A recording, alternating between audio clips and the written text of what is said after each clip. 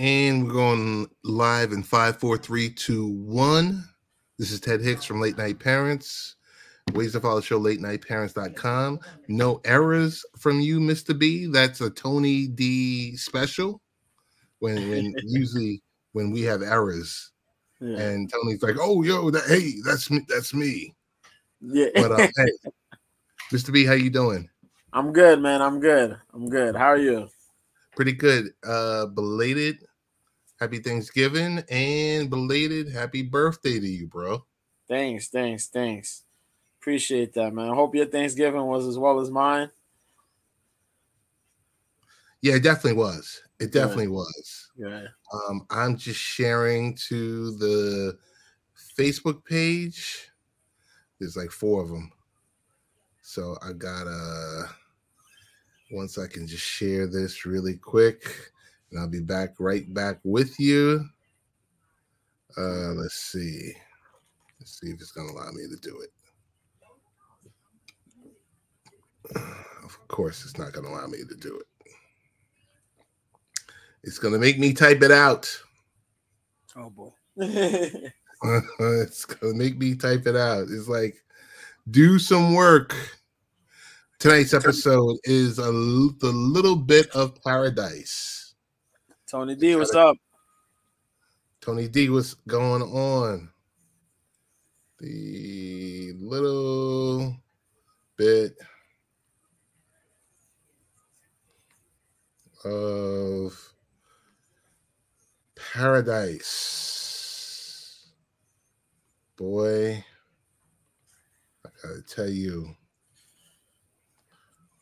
it's been so it's been something. And post. Okay, now we post, and now we should be good to go. And even if we aren't good to go,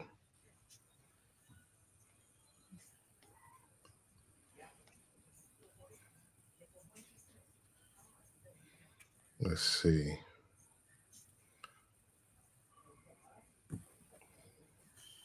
I can never win. You know that? I can never win with this. All right. You know what? I'm done with it. I shared it to one page and we'll we'll figure out the rest.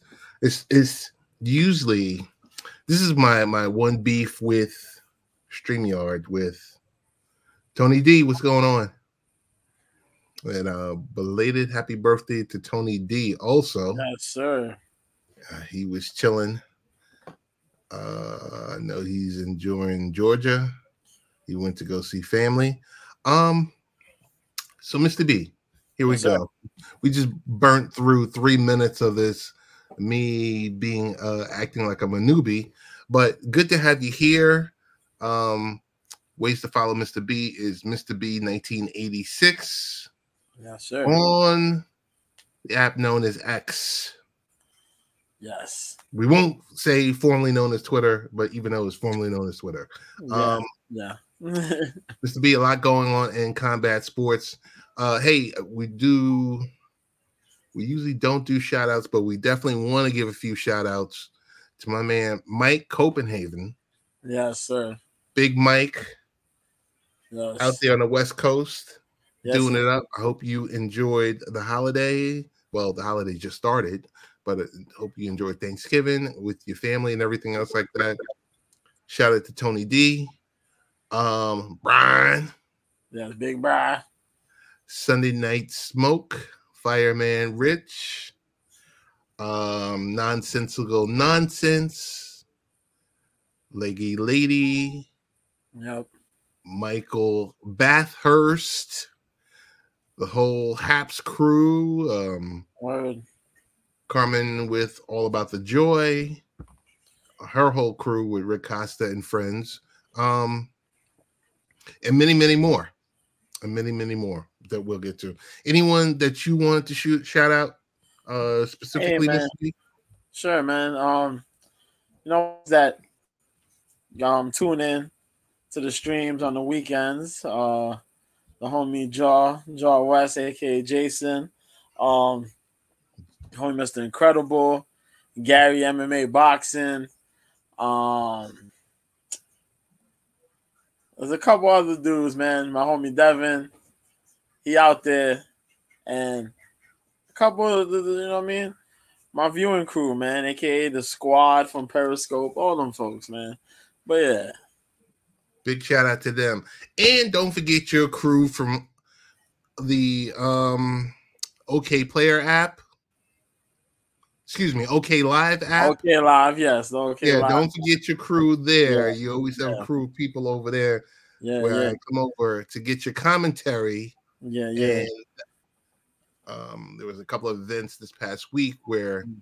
I like to tune in and listen to your commentary Mm. while I'm also viewing um whatever the pay-per-view is. Yeah, long time, long time viewer from both Periscope and Haps, and he's watching on there too. My homie Phil McCormick.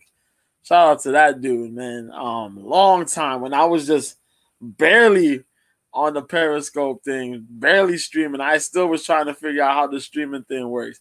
He was watching beginning, so big props to him, man. Appreciate that dude. Big. Um, That's big. yeah. Yeah. And the homie Well, the cut and a couple other folks there too. Yeah. Yeah. Want to shout out my boy Bucko Bruce, who I spoke to um during the Thanksgiving holiday season. Also to Danny Thompson. I got to shout out my man Hezzy McCaleb. All my boys from Barbershop Sports from way, way, way back when I was doing the pod with them back in 2012. Ooh. was doing up. I was I was I was a youngling helping them out when they did their weekly pod. And they kind of allowed me to dip my toes in and see what was going on. Um, but those are just a few people that we're shouting out. Um, so we'll get get into it. Yes. Um, I want to share right here. I've been at, I was asking you over and over and over again, Mr. B, and you did not fail because I kept asking you what's happening with PFL. I think it was like every week, whether we were on air or off air. I was like, mm. yo, is it official? Because that last Bellator card, it was kind of like, okay, we're done, but wait and see what's next. And what's next was the news that came out PFL acquires Bellator. Um, a lot of stuff to come out of it with Bellator restarting in 2024. Um, you know, the two different brands, the different showcases, like the the they're expanding the brands within the franchises between the league season, the, the super fights, the Yep. Challenger Series, the international leagues, and of course Bellator with their standalone eight standalone events. Um, we listened to um, Don Davis Yes, sir. on MMA fighting. Yep. Um, it was a, a great. It was a great day to be in combat sports. So I wanted to ask you, what's the true impact of PFL acquiring Bellator MMA? And and I guess the question I'm looking for an answer for is the impact to PFL, the impact to the fighters, the two different leagues, and what does that mean for UFC and ONE FC? Well, here's the thing. One F well, first of all, PFL acquiring Bellator is a big deal. Um, PFL runs this tournament format. I'm a fan of the tournament format. Um, however, with the tournament format, you know, you have a set number of fighters. When the tournament ends, you don't have nothing really to watch in between of these tournaments. So because you have the tournaments, you establish who's in the brackets. They pick who's in the brackets pretty much, and it's pretty much the same guys. They come in there. There's not really uh uh like fights in between where you can see who's in there. You have your main guys, then they have like the ta- the Challenger series. They try to fit in the Challenger series the PFL has, where they get where you get to see fighters from the outside fight their way to get a spot on the in the tournament. We've seen that with Impa Kasanganay, who won recently. He won on Friday. He won the tournament in spectacular fashion, might I add, um, beating Josh Silveira, uh, and a couple other folks there that managed to just punch their ticket. Um, so you see those regular guys. Now you have the option. You pick up Bellator. Bellator has a roster, a pretty solid roster. Golf Hawk was happening. Um, you see, those guys now could come in and plug themselves into the PFL tournament. They could also have the option to fight that Bellator, that regular Bellator scene. Um, so you get that PFL, you get that Bellator talent. Really good Bellator talent, mind we add. Bellator is not just slackers, you know what I mean? it's not just some slackers. We've seen what can happen. Established guys can come in and make a big scene. Um, Eddie Alvarez managed to win the light lightweight title, beating RDA in the past. Um, we seen Michael Chandler stirs things up in that lightweight division as well. Um, everybody wanted to see MVP MVP managed to, you know, we're, we're trying to see how that works with MVP and the UFC, but there's a lot of really good talent, a lot of really good fighters that Bellator has that people were saying, hmm, you know, if they were in the UFC, they could stir things up. Now P- PFL got them. And now PFL is going to allow Bella, they're going to run um for the next two years. They're right. going to run PF, I mean, Bellator events under the PFL banner. So that's going to be really good to see what's going to happen. Um, you bolster your roster. You got really good talents. What more does this to say? Um, you get good fights and good matchups. Yes, that's what we're looking for, and you getting some distribution going on as well because Pia, I mean Bellator Scott Coker managed to work some things out. You know, they had the airing of fights in Russia, fights right. in France, you know, a lot of the European uh plugins, you know what I mean, for for Bellator.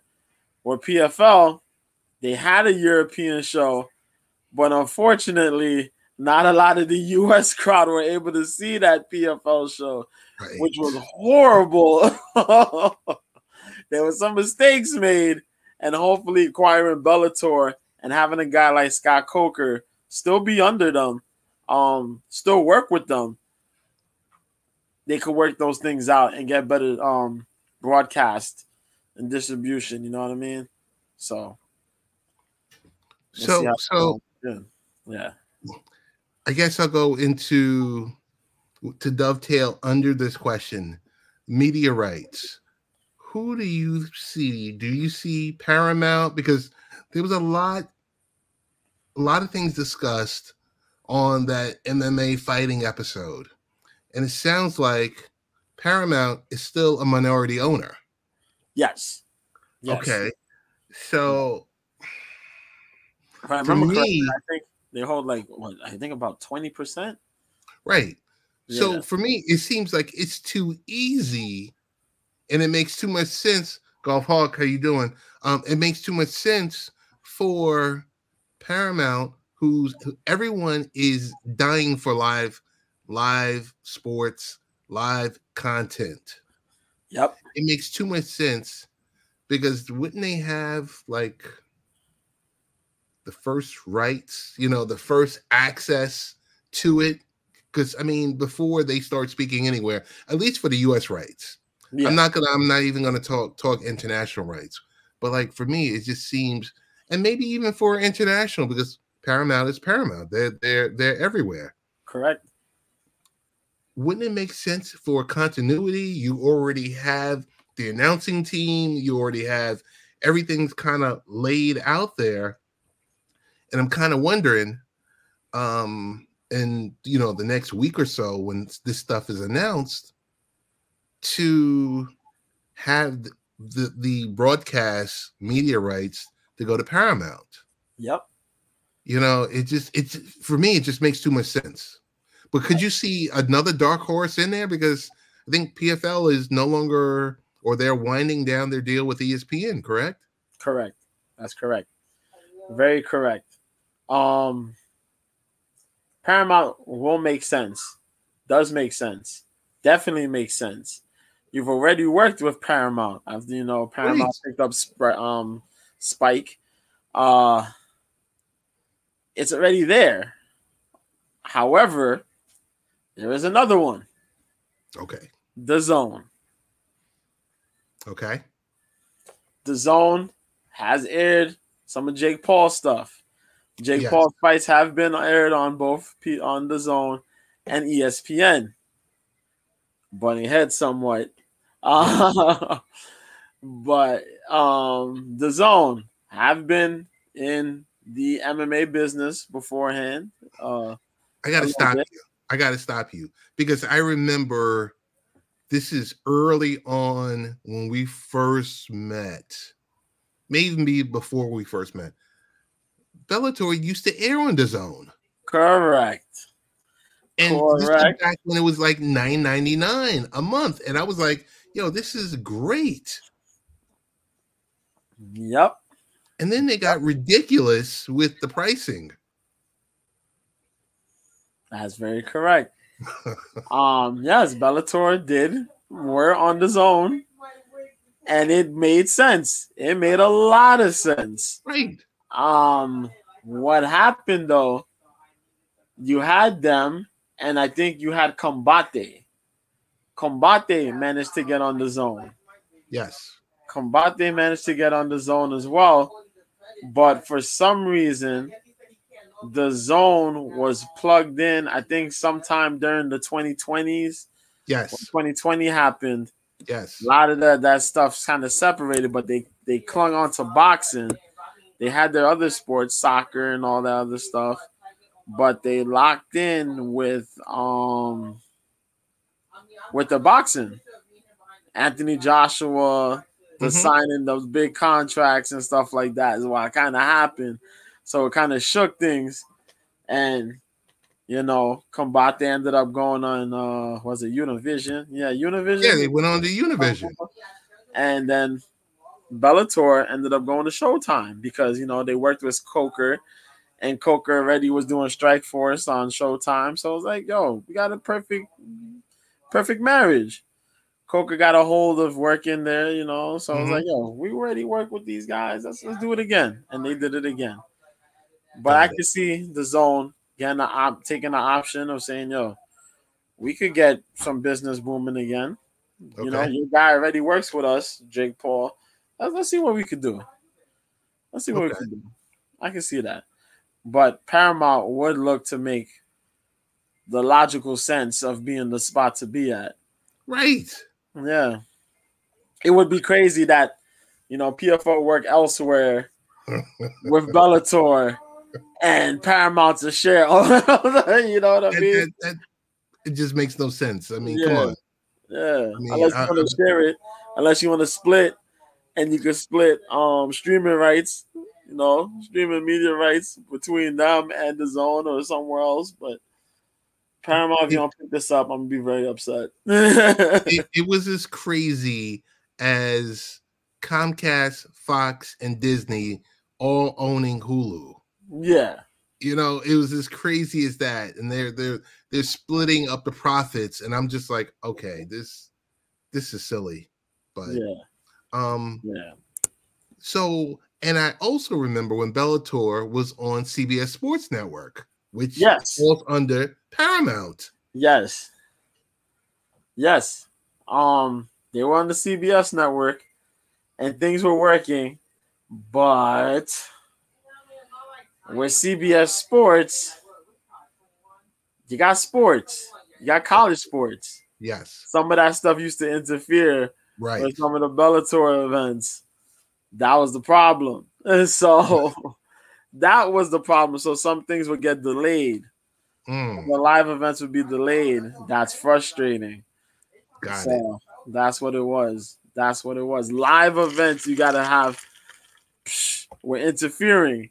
So if Bellator does an event that's a little early, that would event that would interact with some of the college game days, certain college game day things.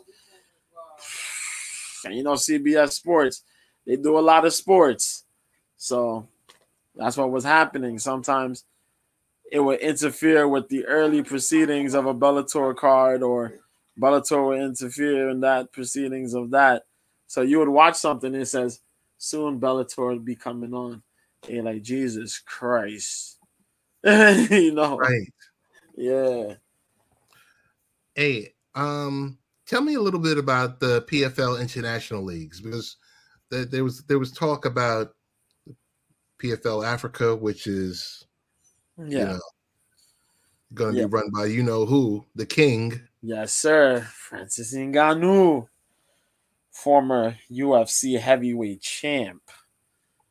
The guy who never got beat for his title. Let's just add that. Never got beat for his title. The number one guy for the UFC. So take that, UFC. You know. Um, as far as that's concerned, the uh international leagues, we have PFL Europe. Now, PFL Europe, if I remember correctly, had about two, three events so far. hmm They have some really good talents that have been um lurking in there. Was it Diana? Is it Diana Ditcheva? Um, her mom was a big time kickboxer. She's whooping people. Young girl. Um, she's in like what her mid twenties or so like that. Early to mid twenties. Really solid um talent. Uh then you got the big guy. The big guy made his debut, spectacular fashion. And no, not Francis Ngannou, glory welterweight champion Cedric Doumbé Got it. made his PFL debut. Not his MMA debut. He's been pretty good, undefeated in the MMA. But um, was it a two-time, two-time welterweight champ? Um, yeah, two-time welterweight champ for Glory Kickboxing, tournament winner. Hell of a talent. Hell of a talent. His debut was not broadcasted because PFL made the horrible decision of not having it air for North America. So Sadie, how you if you had- doing? If you had the hookup, if you had the link hookup, hey, hey Sadie, if you had that link, you was able to watch it. But if you didn't have that link, boy, these goofballs really messed up. But that car was pretty good. But yeah, they're looking for Africa. Hopefully, they work out something in Russia because they have Russian talents in the. PFL. Australia? Hopefully, Australia. You look for Right. Australia talent because you know, um, you look to br- to branch out there. They're trying to get into Australia. They're gonna have to get into Russia because Russia's a big spot for that, um, for MMA. Um, they look to branch out to other places, man. I know the UFC was looking for an Indian market. There is MMA in India. You could get that going for sure. Um, and the Latin, you know, Latin America. But hopefully they could figure those things out because there's a lot of good talent growing. I was ranting and raving during this year about the Peruvian talent. We had some Peruvian fighters, but Peru has managed to get itself on the map this year. There have been a lot of Peruvian fighters that have popped up here and there, and we've seen uh this man Jesus Pinedo win this tournament. A talent from Peru who popped up out of nowhere, lost his debut fight in the turn in um the uh preliminaries of the PFL, then knocks out the number one guy who won the tournament last season, Brendan Loughnane. Talk about a Cinderella story for Brendan Loughnane. Was fighting in the UFC on the contender series, won, but Dana didn't sign him. He says, "Cool, I'll try my luck in the PFL." Wins the 2022 season and does it in amazing fashion, beating some of the top guys. Then shows up this season, was looking good, gets knocked out. gets knocked out by this Peruvian dude, young cat. Gets eliminated from the tournament. So, so here, here's my question: no? of of the international leagues, are the international leagues kind of considered like the minor leagues and PFL, like America or US, considered like the majors? Like, do you work through PFL and you get through the ranks of PFL Europe? Do you eventually migrate over to the US, or do I mean, or do they operate on the same level? Um, based on the geographical location? Good question. Um, as far as what's happening with the internationals, um, just like how the UFC did their thing, Bellator did their thing. You look for the the regional talent. You mm-hmm. establish your market. You find the talent there big name talent, the regional talent, who's big in that in that area. You have them work their way, they get their fights, they fight those guys, they look good there. We'll bring them and have them do their thing here in North America eventually.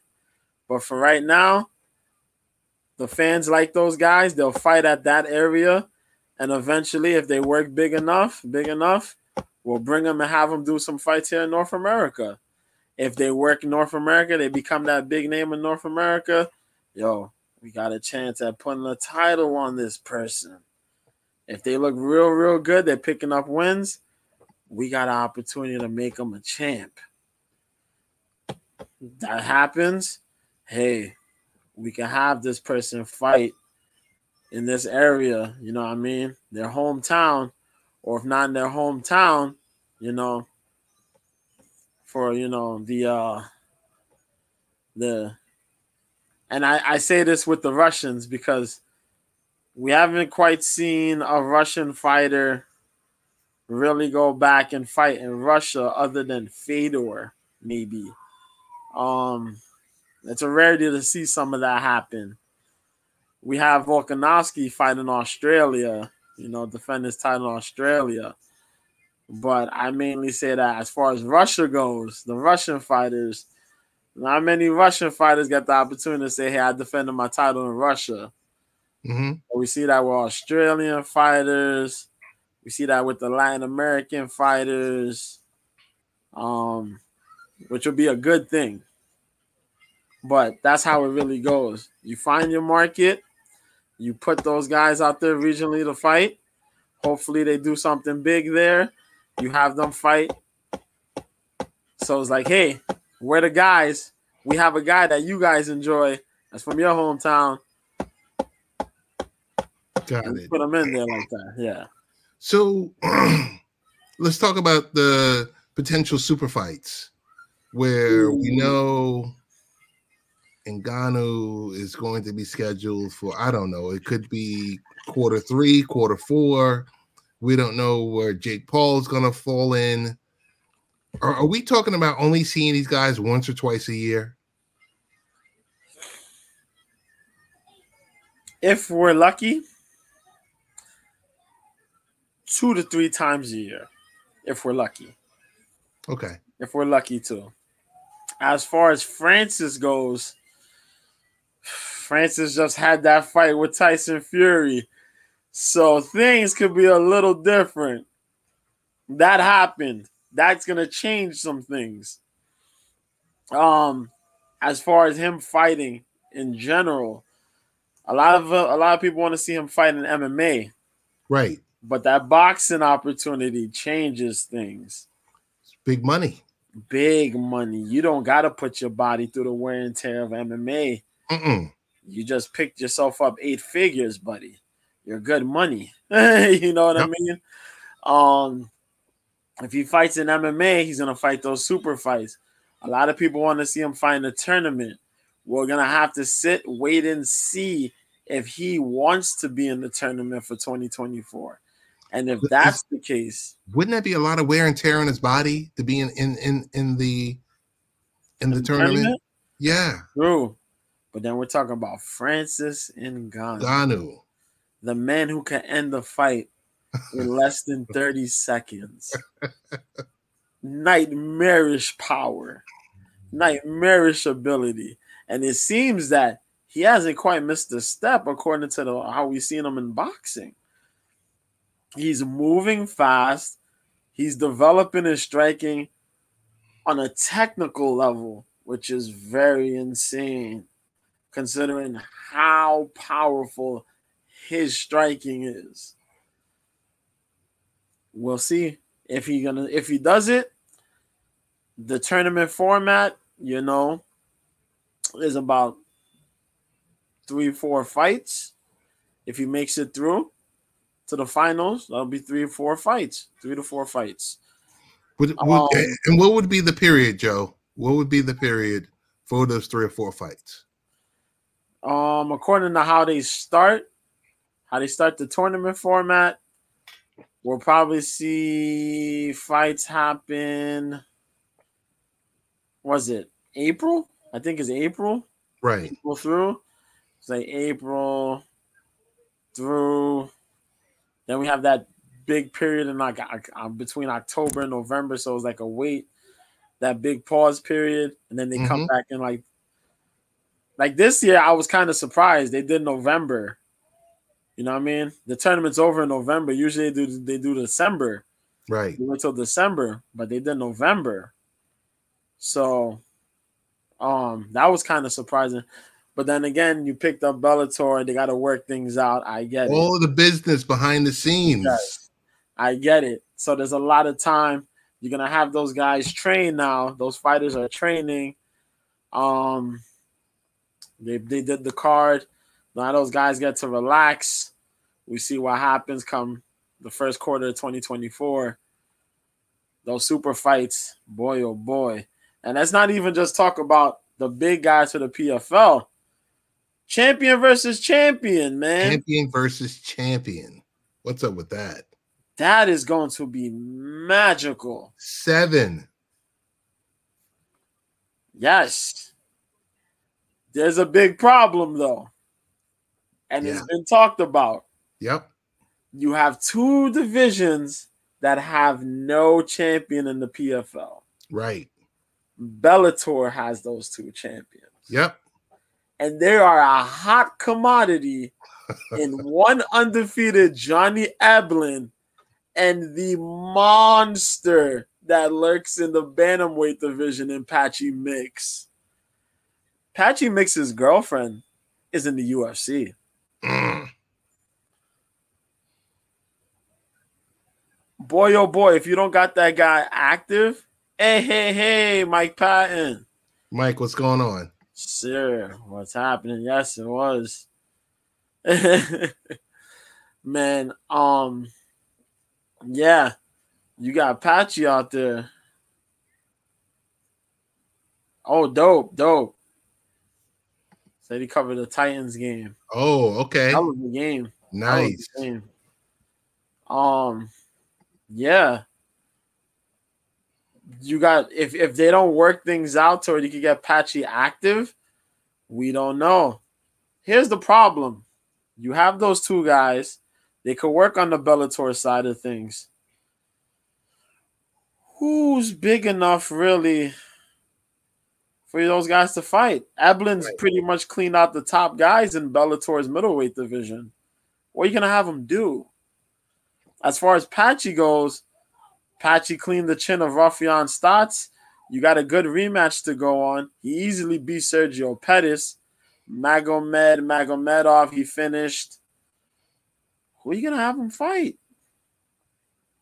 What are you gonna have him fight? You gonna pick up randoms? hey, let's fight some randoms. No, you can't do that. so, you know, we got to see how that's gonna work out. We gotta see how that's gonna work Are You're gonna have a Bellator tournament to figure that one out. You know what I mean? you got problems. You got to make things happen. But the rest of those guys, really good talents there. You have the welterweight champions that's going on. Um, who is it? Okay, we have featherweight champion Patricio Pitbull. Pitbull will be fighting now Jesus Pinedo. Good fight. Problem is, Pitbull's taking two bad losses at the end right. of this year. Sergio Pettis embarrassed him in his in his uh in his bantamweight attempt. Um, and then he went to Japan. He got knocked out. Bad man, bad loss. We got to see how he bounces back. And he's not gonna have no clear ch- clear fight. He's going straight into that champion versus champion fight. Right, That's gonna right. be crazy. Um, lightweight. We don't know if OAM is planning to retire or not, but he will be fighting the lightweight champion, Usman Magomedov. Now, Usman Magomedov got suspended for PED usage, which is horrible because Usman's really good, really talented. Six month suspension, though. That's kind of a bummer. And that fight ends up being a no contest. So he fought Brent Primus. That could be a rematch. And if Brent ends up winning, boy oh boy. So we got a question mark there. Um, we mentioned welterweight Jason Jackson, who got that amazing win against the undefeated Yaroslav Amosov. He's going to be fighting now Magomed Magomedkerimov, who's a beast. You seen that he won the tournament after a long hiatus. He couldn't even get to America to compete um, last season, the season before. That was crazy. Um, and it's been a long time, man. He got he took some losses. He had the visa ban, some craziness. Um, no middleweights light heavyweight, we seen um who was it that won the light heavyweight tournament? Oh my god, how am I forget? Oh yeah, Impa Kasanganay. Impa, who who lost in the UFC, highlight real knockout loss to Jakeem Buckley, that spinning kick. Mm-hmm. Bulks up to light heavyweight, looks small at light heavyweight, but embarrasses these dudes at light heavyweight. Comes out of nowhere and beats the son of Honan um Hanan Fahea, who competed in the UFC in the early years, fought in UFC Japan because it was just like a robber, blah blah blah blah. But Josh Silveira, this was his second time, second run, comes to the finals, gets handled. Handled. What's up, Jay? There you are, bro. Jay West. Oh, you want to come on, but well, this is gonna be quick, but you could come on with me. We'll get on um after this. But yeah, man. Um yeah, he's gonna be fighting now. Um Vadim Nemkov, uh, the protege of one Fedor Emelianenko, aka the greatest heavyweight in mixed martial arts that ever exist. Um that's gonna be a good matchup. Hell of a matchup. And if Impa could get that win, whoo, that builds his stock up crazy. And then you got the heavyweights. Um, Ryan Bader, long time mm-hmm. light heavyweight guy who fights at heavyweight, but he playing games as far as defending his title. Will be now fighting that big Brazilian Renan Ferreira. Um, a lot of good matchups, and then I don't even want to get into that women's featherweight now. Larissa Pacheco now winning two divisions, right. fighting Cris Cyborg. Golly, golly, that's gonna be something. Whoo. I look forward to it though. Yeah. Magic. It makes you happy because now you're getting like, we want to see this. we want to see this. It, it, it was kind of like, remember like maybe five, six years ago when AEW first came on the scene? Yeah. And everyone was happy because it's competition. Yeah it's just not the, the the one bully and all the you know the the, the peons that are that are running around the smaller yep. promotions. Yep. This is this is really good. Yeah. Um. And yeah, and is that is like is that Bellator has established champions. Yes. That's what makes it really good because you have established champions who've been in this promotion and fighting guys, fighting talents really challenging the PFL's talents. Now you get to see if the PFL really is about, you know, if they really are that team. You know what I mean? Those guys are really those guys. You know, the one thing from the Ariel Helwani interview with uh, Donn Davis was when he talked about, he said the fans want to see Ngannou against Johnny Bones Jones. He was like, we can make this happen. Yes. And that is frightening. that, that is, is frightening. Frightening. They have pockets. Yes. This is what you need to understand, people. They have pockets. Yep.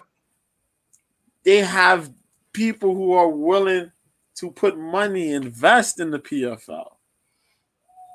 And they're like, they're open to, hey, your champ against our champ, and we're going to make a whole lot of money. And yeah, and John's looking at it like, I could really make that money. I make good money here in the UFC. Right, right. I'm going to be on my way to retirement. Yep, there you go. He hasn't really been undefeated, but he's getting older. Yep. And I, I'm afraid to say this, folks. That man tore his pec. Yeah. That's an injury you don't want to risk again. Nope. And it can happen again. That's a problem. that is a problem. That's a problem. So he's got to fight younger heavyweight talent because they're pushing younger heavyweight talent in the UFC. Do you want to go through that? His body was a he was a light heavyweight He's taking he's doing heavyweight. It took him three years to finally say, yo, I'm gonna fight at heavyweight. Right. To get your body back in the shape. You're gonna go through these stuff again, finding these younger heavyweights. And the heavyweight, the younger guys are evolving. They're looking better. Yeah. So what are you gonna do? I don't know, but it's going to be a good time in the PFL. And I, I, guess we're looking for, if not this week, the next week, for the next, I guess, next rounds of of huge announcements. Yep. Coming out of that camp. Yeah. Which should talk media and which should start to lay down the I think the March time frame for the first Bellator event because I think they said eight standalone events through yes. the year. Yep. And then March for PF, PFL. So it's a great time for this company. Uh, want to see what they do. Like I said, hey, they can hire us because we could put together your media deal really quick for yeah, US yeah. and international. Yeah. Um, yeah. wanted to segue quickly into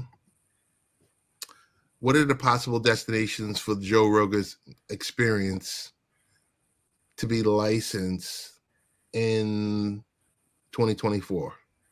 Mm. Joe Rogan, the JRE, man, oh man, that man's has that man got power. If Rogan's coming back, if Rogan going somewhere, they got to do better than what Spotify did. Yes, that's it. Either Spotify gonna hit him with another another big deal, another extension, or somebody's gonna have to come and move. We gotta get the truckload. I, I think it's more than a truck.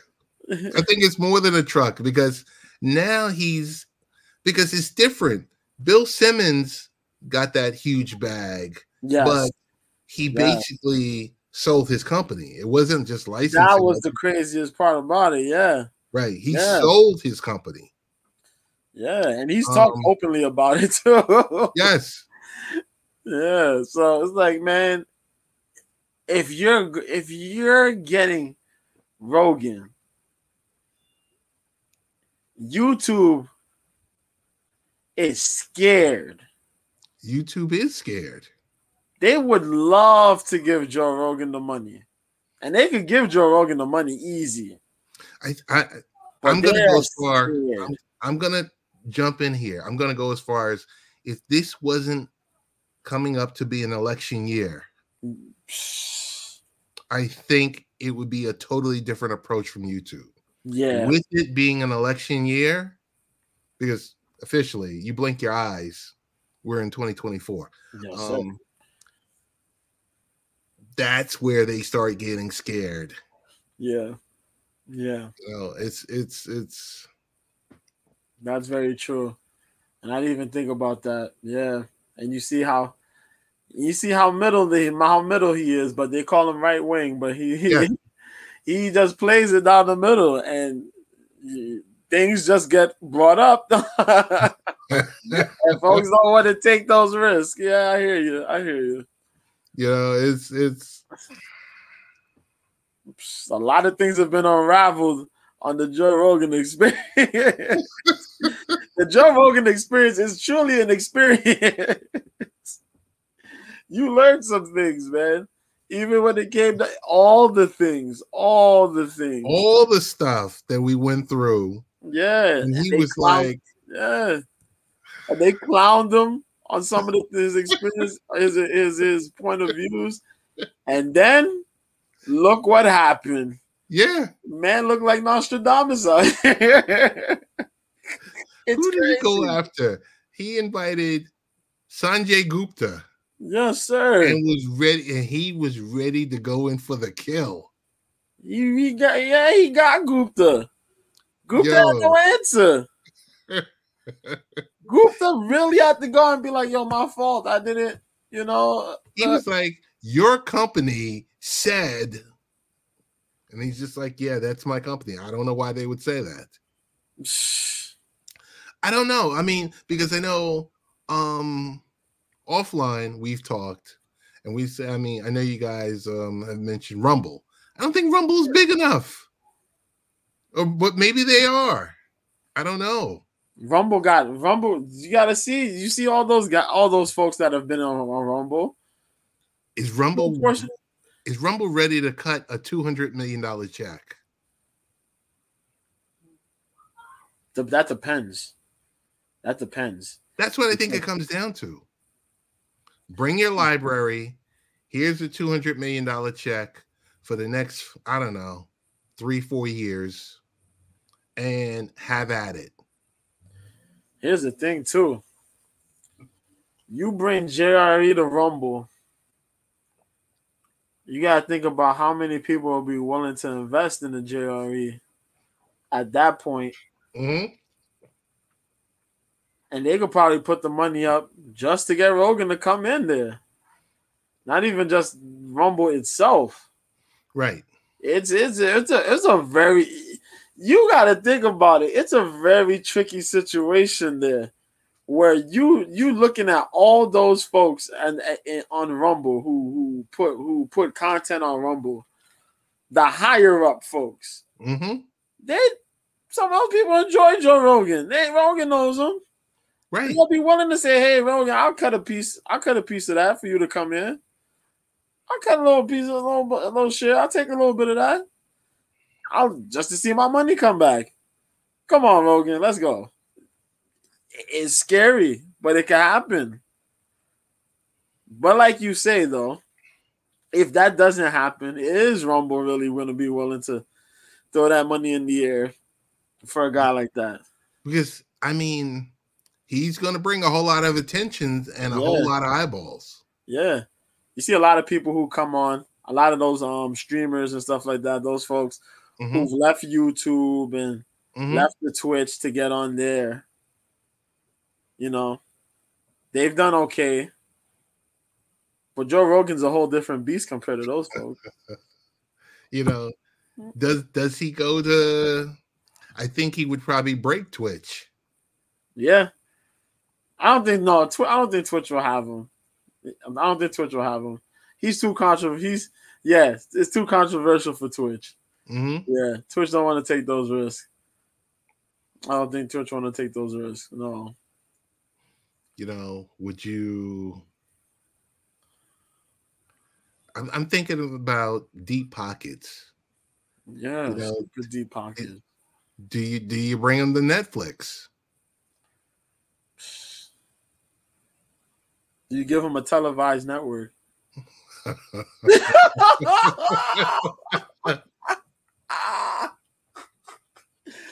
Yo, do you bring him on TV? Do you do that? Do you bring Joe Rogan on TV? Prime time spot. Because if I go to Fios, my Fios TV, and I type in channel 838, it's Netflix. Bro. Man, oh man. Do you, you do that? Pockets. Do you do hey, that? You drop and he's dropping three live pods a week. You tell me.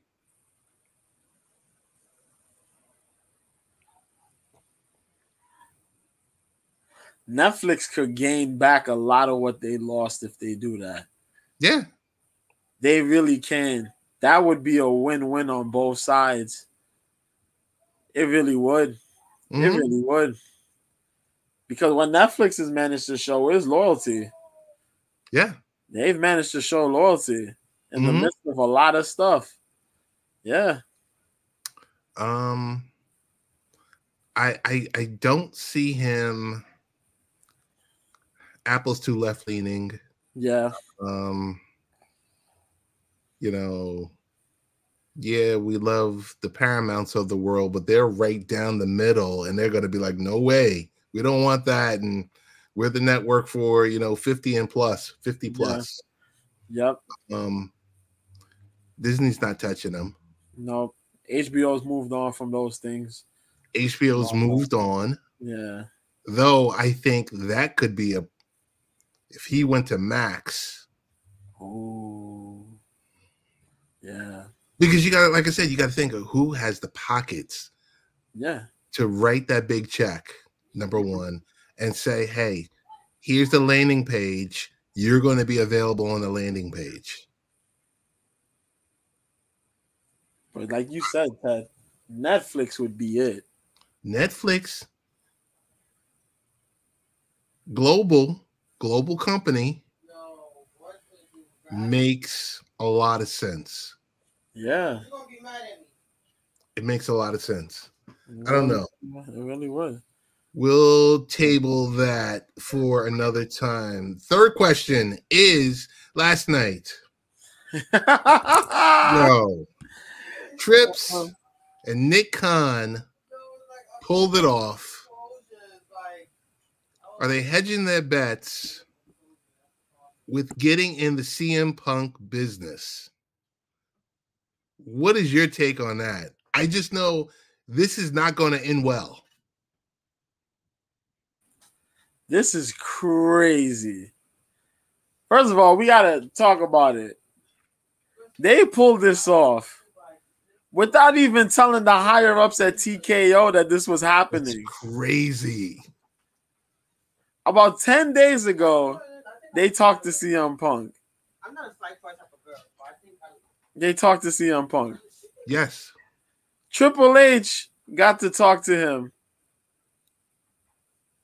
just in the morning before this happened.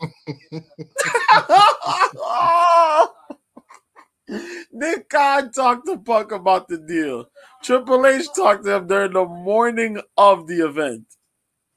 Nobody knew but Trips and Khan. Nobody.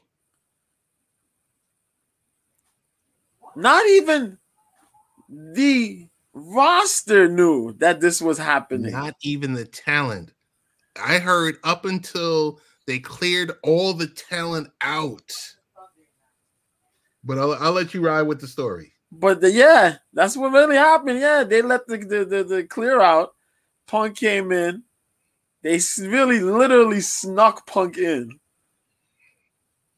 So when that music came on, that's when they knew he was there. Yeah. Rollins is pissed, but what they're talking about is that Rollins is trying to work an angle, which I knew yeah. they were trying to work an angle since they did the, the Twitter spat. Yes. Um, yeah. They went crazy back and forth. There are some people who feel upset about it. There's some people who are happy about it. Mm-hmm. But to get this man after nine years, Nine years. they fired him on his wedding day. He walks back into a W W walks back into WWE during the legit ending of a pay-per-view. Like there was no need for that to even happen. You rolled the copyright screwbar, all Yes. that stuff. That was it. He pops up out of nowhere. Brother, that is insane. But that also shows that they understand business. Yes. People could grow up. Yep. People can grow and understand the situation. Punk had an opportunity and went elsewhere, got himself back to see how the response would be. Mm-hmm. And as I mentioned it on Twitter, on X, I can't say Twitter X, he went elsewhere and realized that as much as you want to want things to be different, it might not be all that is cracked up to be. Yep. And what he's seen and what he talked about is facts. WWE's established. Yep. Those folks pride themselves in professionalism. But at the Mhm. end of the day, understand it's a business. And where he was at, they haven't figured that out yet. Nope. So he went back. And we got to wait and see what's going to happen. If he shows up on Raw on Monday, it's going to be crazy. And Yeah. moving forward, it's going to be insanity. Yeah. 2024 is going to be an interesting year for wrestling. Once again, wrestling has been flipped on its head. True. Um this is stuff we only expected. If you listen to the Nick Khan traveling podcast roadshow, he went on so many different shows and was like, here's what TKO is doing. And we're going to provide you, you know, the fans with like mega events. They were talking about mega events Yeah. for 2024 Yep. where it's an entire weekend where it's UFC, WWE, in that same weekend at that same venue in that same area. It could be global, it could be domestic. Yep. Yep. I just know two things I know. This won't end well. And Tony Khan has got to be sick to his stomach. Oh, he's he's he's definitely gonna be sick to his stomach. He's definitely sick to his stomach. Yeah, yeah. Cause you gotta. Um, I'm gonna tell you this.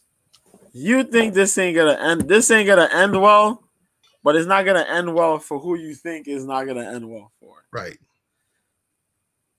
The WWE understand what they're gonna do.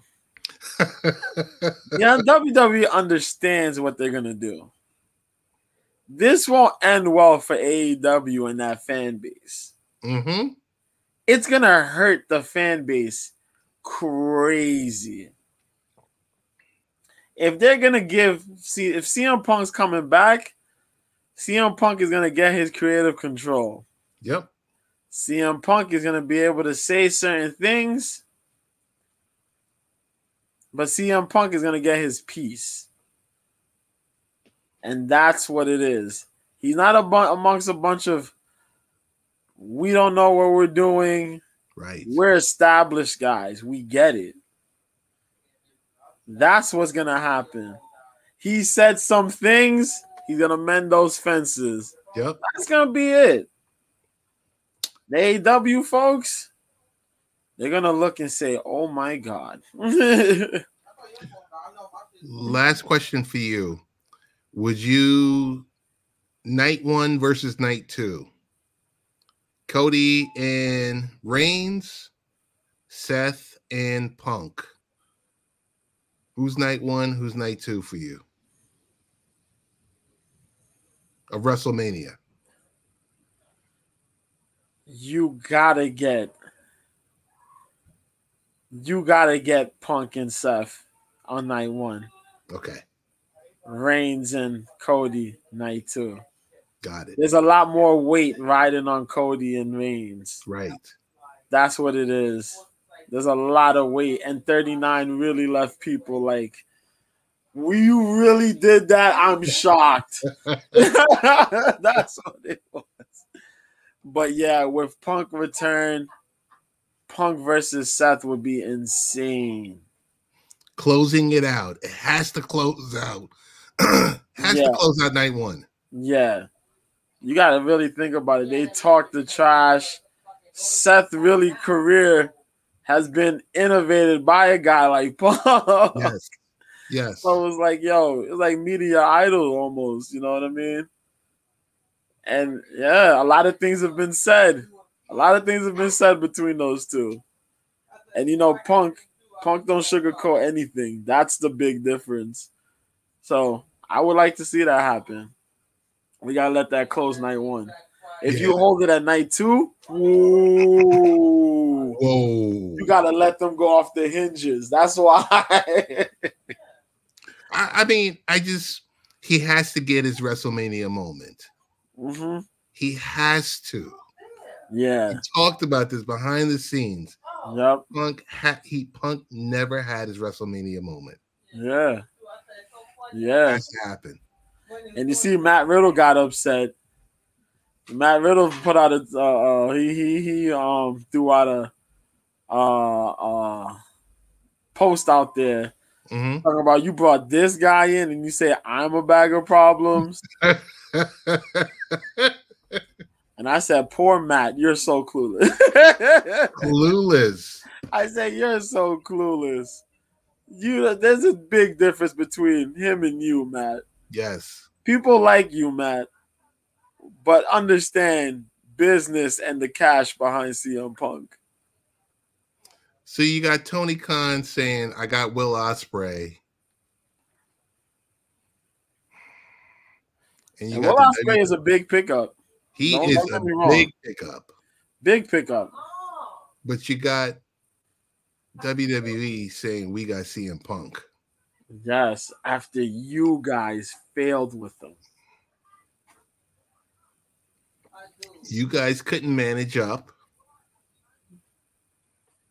You guys couldn't say, "Yo, let's put on our big boy britches."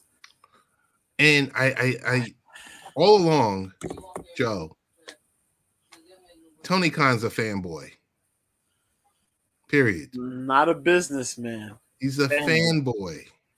That's all it is. It's a guy who got money and say he could buy what he wants. Right. I think I'll buy that. Yeah. Okay. And hey, we'll, we'll yeah. do an announcement on our Wednesday show, and you're just like, yeah, yeah. I'm gonna do an announcement. My announcements don't carry as much weight as we had as they once did. No. You know what I mean? You had this guy and you messed it up because you want to be a fanboy. You want to be a fanboy. a boss. And not a boss. Lack the professionalism. And everybody you see talk about he's so professional, he's so professional. Uh, nah, man. We could see it. We could see it now. We get it. Yep. Some of it, and you know, I was on the, you know, we talked the wrestling aspects, and we used to say it.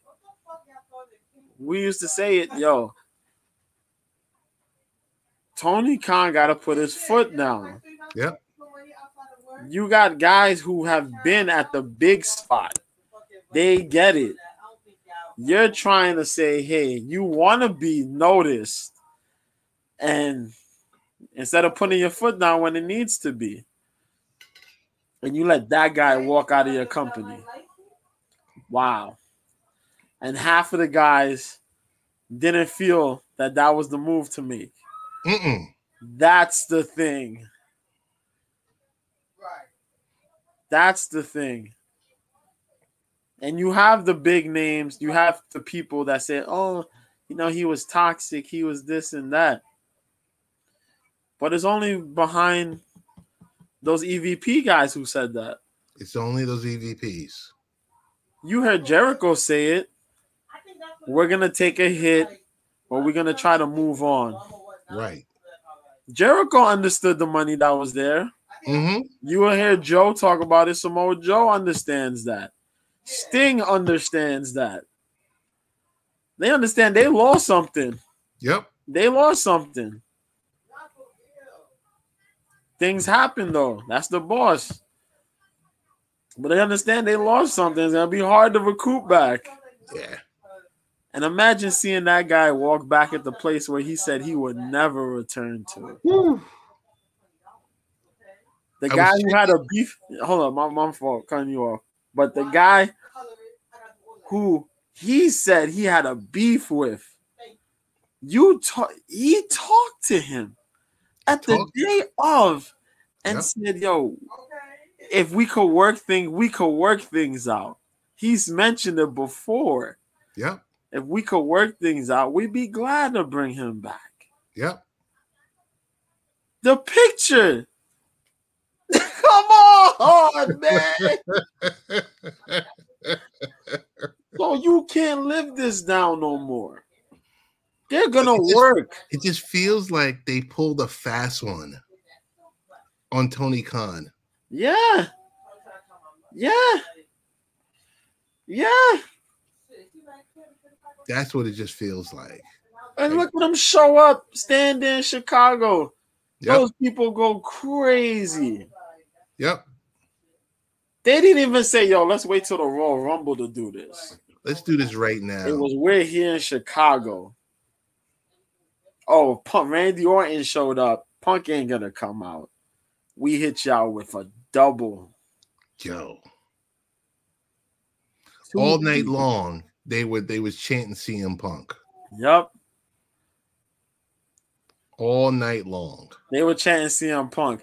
Then it looked like Randy wasn't gonna show up, so CM Right. Punk definitely gonna be there. Yeah. Then Randy came out, so it was like, oh, we're not getting Punk. Here's the show about to end. Mm-hmm.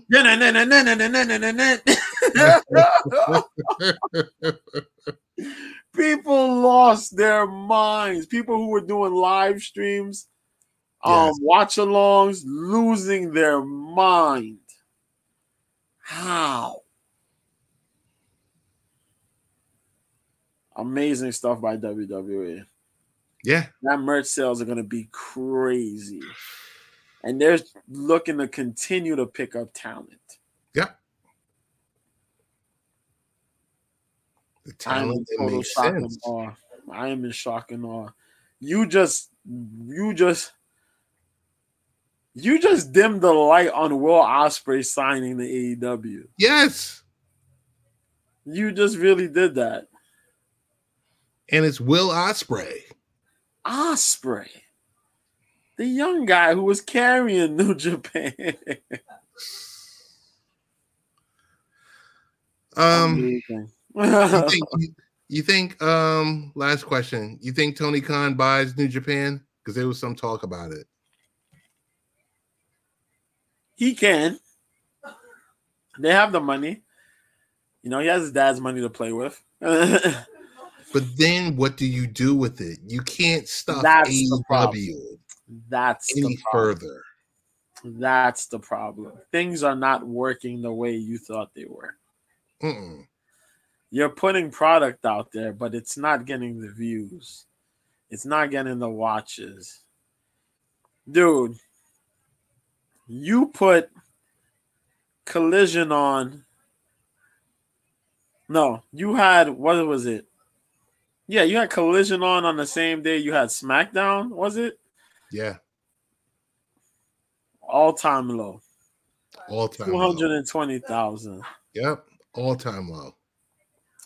Then you had the audacity to try to have Rampage and Collision play head to head with Survivor Series. Crazy. What are you doing? What about the night? I think it was the baseball playoffs. They had what did they have? I don't know if they had it wasn't collision. It was either Rampage or Dynamite against NXT. Yes. And Trips sent everyone down there. Yeah. And even on a night of sports, you had NXT beat you guys at Dynamite. You had NXT beat you guys. And, and they sent got, everyone. Guest star John Cena, Cody Rhodes, Undertaker showed Undertaker, up. Becky Lynch. Becky Lynch, yeah. And then you went on a tirade like a little kid. Oh, you had to break those guys. Bro, they they talents by WWE. Right. They're the loyalty guy. yep. Come on, man. Undertaker, you call Undertaker. Come on, man. You know what you was getting yourself into. These guys have been doing it for 50 plus years. Come on, man. They know what they're doing. They get it. If they want to pull the big guns, they'll pull the big guns. And they can pull the big guns at any time. Anytime. Triple H is trying to play nice with you guys. And y'all won't just leave it alone. You won't leave it alone. He could pull Dwayne Johnson at any time. Yep. And that's a showstopper right there. Yeah.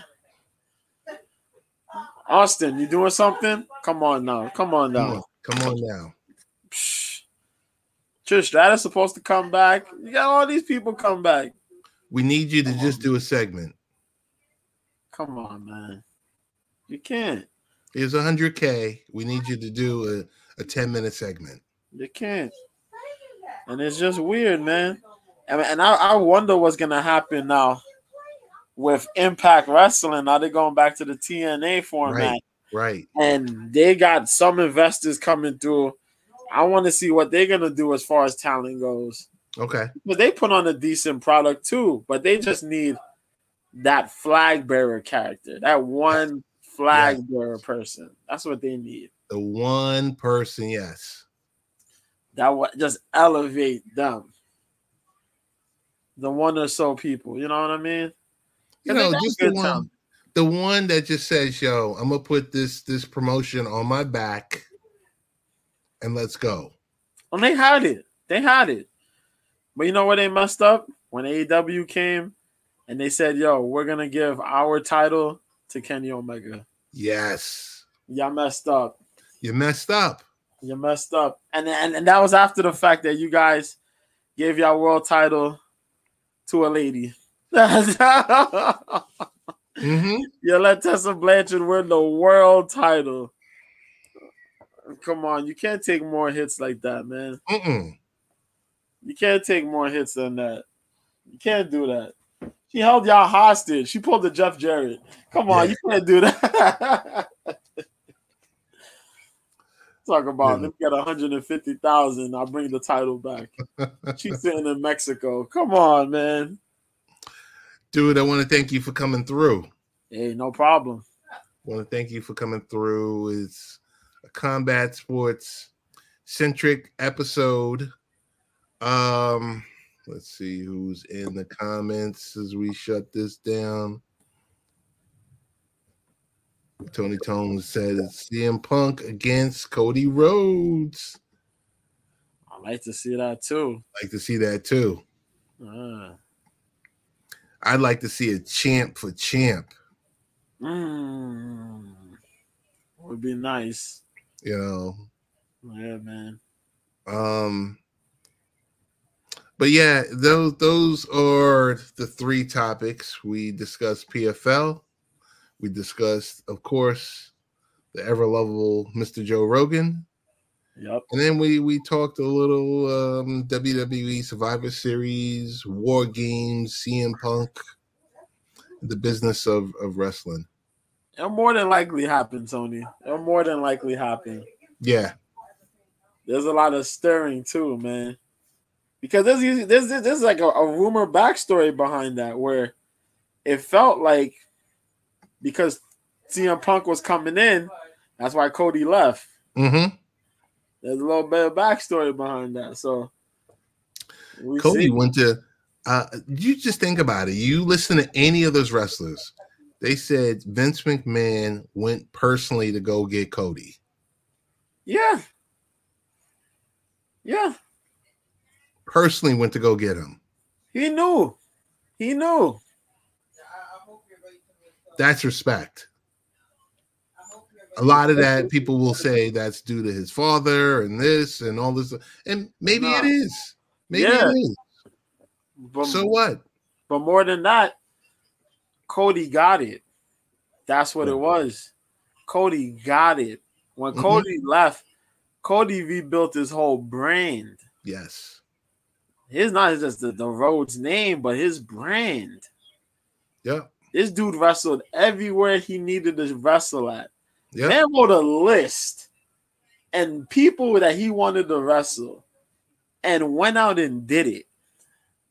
Yeah.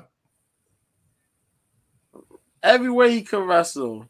Mexico, UK, California. He was out there. PWG, Battle Los Angeles. He showed up. yeah. Come on, man. You could have asked for it. Went to Japan, Bullet Club, Ring of Honor. Oh, yep. come on, man. Impact. Wherever you wanted to watch wrestling, Cody Rhodes was, was there. Can't ask for more. You know, Can't ask for more. But man, want to definitely thank you for coming through. Um, where can we find you during the week? New Year, same beat at Mr. B 1986 on X. Um, catch me there. The weekends, that crazy app called OK Live. When there's fights going on, I'm out there. We doing that streaming and humorous commentary, humorous, knowledgeable commentary. But yeah, man, that's where you catch me at. For Got sure. it. Got it. Oh yeah, Wednesdays, man. I'm on here, YouTube and uh Twitch for the B sides, man. I sometimes 4 p.m. Yes, 4 p.m. Where I'm talking about the sports, the combat sports.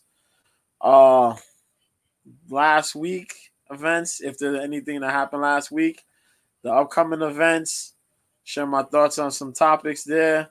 Sometimes it's short, sometimes it's extended. But you get what you need, man. Got it. Mr. B, want to thank you and want to thank everyone who was in the comments from Jay West, Tony D, Golf Hawk, the Sadie. General, Mike Patton, Sadie, and we are out.